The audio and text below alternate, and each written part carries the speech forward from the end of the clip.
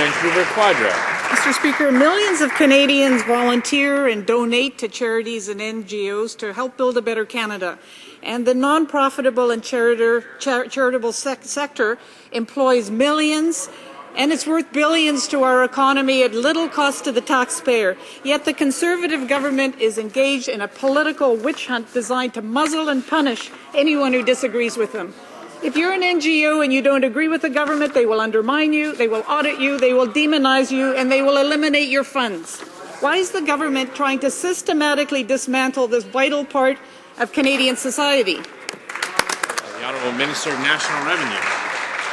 Mr. Speaker, we do agree that charities are a vital part of Canadian society.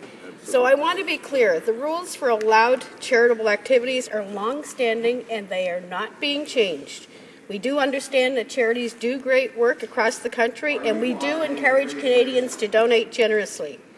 But when Canadians donate to charities, Mr. Speaker, they want to know that their donation is being used for the, its intended purpose. Hear, hear. The Honourable Member.